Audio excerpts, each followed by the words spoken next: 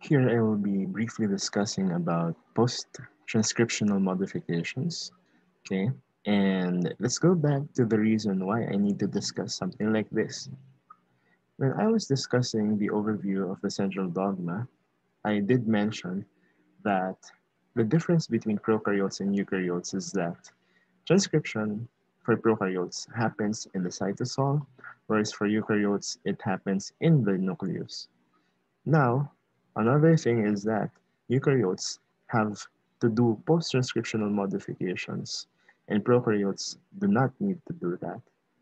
That is because if I have here the product of transcription in eukaryotes, which is actually called the hnRNA, that hnRNA has problems. What problems? That is, if I go here, okay, if we try to get this and imagine this yellow thing right here is the RNA. If this RNA goes out directly from the nucleus to the cytoplasm, it might have the tendency to encounter a bunch of nucleases or enzymes that break down nucleic acids. In other words, if I have my mRNA just like this, in this form, so this is what we call the hnRNA or the heterogeneous nuclear RNA, it is easily destroyed. It could be hydrolyzed either starting from the 5' end or from the 3' end. And that's not a good thing because it's, it's going to be ironic. Like you spend so much time making that RNA and then you just let it out to be destroyed. That doesn't make sense. So therefore, it's clear that we need to do some modifications to it, especially on these parts where they could be broken down such that we could protect it from the nucleases in the cytosol in the context of eukaryotes, okay? Now, how do we do that?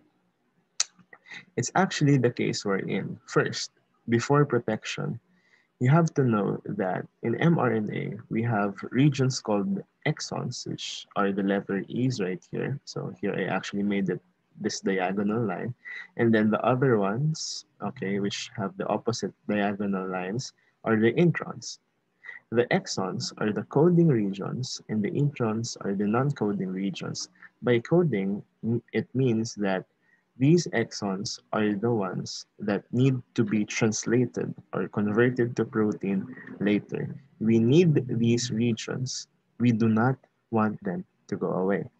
Whereas the introns, they are not coding. We don't need them. It's not part of what we want to become a protein later. So these things have to be removed.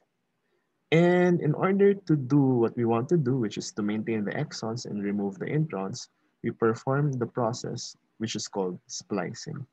So clearly, what we want to do in splicing is to get rid of all these introns, say goodbye, we don't need them, and then the remaining exo, like if this is the in, if this is the intron, splicing will take this out, and then another intron out, and then these exons will be, you know, kind of uh, remember they, they are already they are separated. They are not really attached to each other. So in splicing we kind of patch them together such that the remaining part after splicing is one big coding region or like all of the exons are connected together.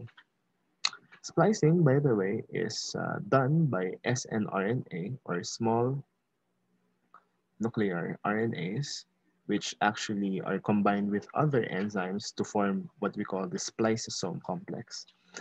Now, after the spliceosome has performed splicing, then all of our mRNA or, or all of our hnRNA is coding. So there's no problem anymore about the content. However, that still doesn't change the fact that the 5' prime and the 3' prime regions are kind of, you know, um, uh, uh, have the propensity to be destroyed by the nucleases. So we need to do something about them. Specifically, at the 5' prime end, which again, um, I, I, mentioned a few recordings ago, imagine the 5' prime as the head part or the, you know, the, the, the, the, the uppermost part of the strand. We put a cap on it. So like, right, if we think of the 5' prime end as the head portion, uh, you put a cap on the head. You wear the cap on your head, so it makes sense. Or maybe if I I mentioned this also before, imagine the other end, the three prime end is like the rear portion of your body. Um, at the rear or at the back end, you put some kind of tail, and the process here is called polyadenylation. So by capping, what we're actually doing is adding this cap, which is comprised of uh, uh, a methylated guanine at 7 with 3 phosphates. So this is basically um, uh, 7 methyl, right, 7CH3, 7 methyl GTP, guanosine triphosphate. This is our cap. So this is not the usual G. This is G with an extra methyl. And that methyl actually allows the GTP to be immune to nucleases. That is, if the nuclease can recognize and destroy a normal G, it cannot recognize or destroy a methylated form of that. So in that case, the cap renders the 5' end protected. Okay. Now, for the 3' polyadenylation means we're going to add so many A's or adenosine groups here. For uh, eukaryotes or mammals, it's around 200. Uh, uh, it's shorter in other organisms like yeast, I believe, but regardless of the count, it's a long one. It's made up of many, many, many, many molecules of adenosine. So since it's a lot of adenosine, it's polyadenosine or poly-A and tail. Okay, because again, you could imagine the three prime area as the rare part of the strand. And the thing is, the poly-A tail is not immune to hydrolysis like the 7-methyl G-cap, but since it's kind of long anyway, uh, uh, you can think of it as like uh, uh a ticking time bomb or like uh, a, fuse, right?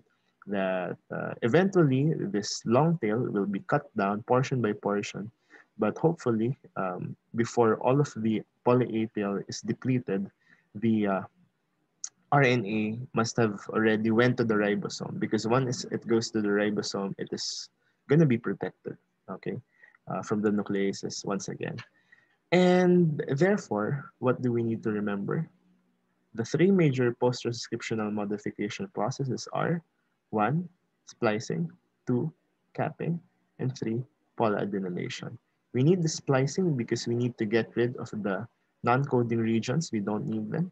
And we need to do the capping and the polyadenylation because we want to protect the 5' prime and the 3' prime ends respectively.